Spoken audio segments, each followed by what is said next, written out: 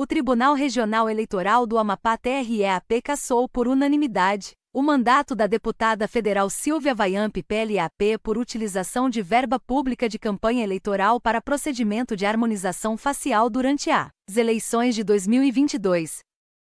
Quando ela foi eleita para uma vaga na Câmara dos Deputados, cabe recurso da decisão ao Tribunal Superior Eleitoral TSE. Por meio de sua assessoria, a deputada informou que soube da decisão pela imprensa e que as contas de sua campanha já haviam sido aprovadas pelo TREAP.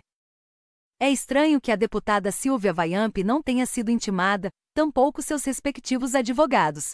Somente após a audiência pública, que ela presidia e que terminou próximo às 19 horas.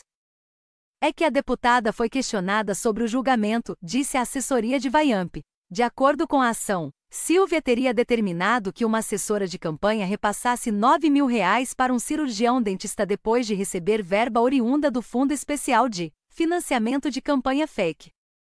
Foram realizados, segundo o Ministério Público Eleitoral MPE, dois repasses no dia 29 de agosto daquele ano. O primeiro no valor de 2 mil reais e o segundo na quantia de 7 mil reais.